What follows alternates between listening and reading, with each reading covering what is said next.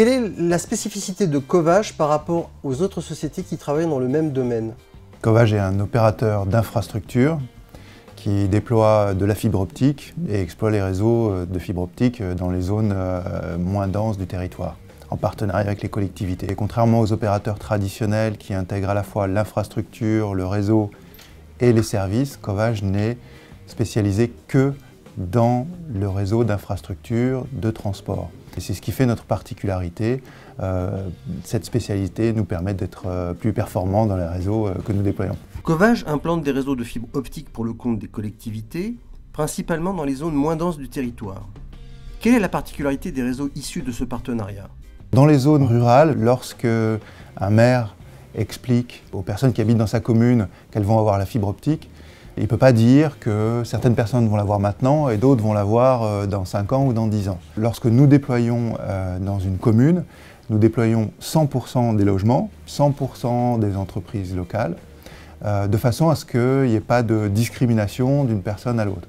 Et ça, c'est vraiment la particularité d'un réseau en partenariat entre le public et le privé. Une fois que le chantier sera totalement fini, quels sont les bénéfices que peuvent en attendre les entreprises et les particuliers?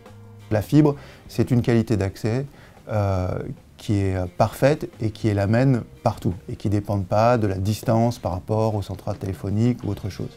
C'est fondamental pour le développement économique. Nous connaissons beaucoup d'entreprises qui auraient dû euh, quitter leur implantation si elles n'avaient pas eu accès à un réseau très haut débit. Si vous ne pouvez pas travailler avec vos fournisseurs, avec vos clients, c'est pas possible sans réseau euh, très haut débit. Pour les particuliers, bon, bah, il y a tout l'utilisation euh, pour la vie quotidienne, il y a aussi l'utilisation du réseau, par exemple pour le maintien à domicile des personnes âgées, pour la sécurité, l'enseignement à distance, et puis également le télétravail.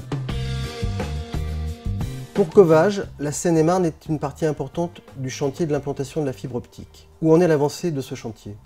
La Seine-et-Marne, c'est un très gros euh, projet, euh, un des plus grands euh, projets du plan national très haut débit, aujourd'hui déjà défini par une collectivité.